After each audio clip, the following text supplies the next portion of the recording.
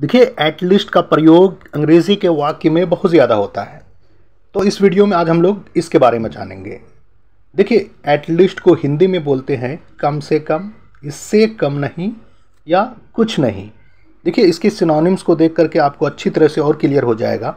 जिसे बोलेंगे at the minimum मतलब कम से कम। मिनिमम मतलब सबसे कम।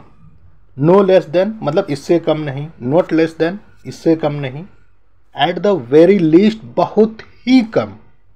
तो क्या अर्थ और मतलब हुआ? मतलब एटलीस्ट हम वहाँ पर प्रयोग करते हैं जहाँ पर हमें कम से कम बताना होता है। मतलब उससे कम नहीं होना चाहिए। ठीक है?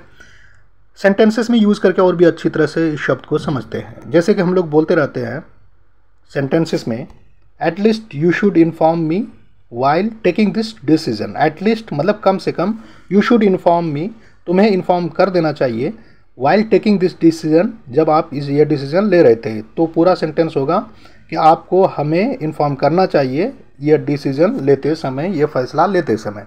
इसी तरह से दूसरा एग्ज़ाम्पल होगा you should welcome him at least आप उनका खैर मकदम करना चाहिए, उनका आदर सम्मान करना चाहिए, उनको वेलकम करना चाहिए। He is because he is your bosom friend क्योंकि वो आपके पुराने दोस्त हैं। बॉजम का मतलब होता है घनिष्ठ।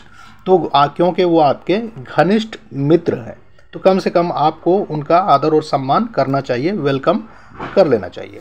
ठीक है तो उम्मीद है आपने एटलीस्ट शब्द को हिंदी और इंग्लिश में अच्छी तरह से समझ लिया है। Thanks for watching Educator Desk please like this video and subscribe my channel to get more videos like this thank you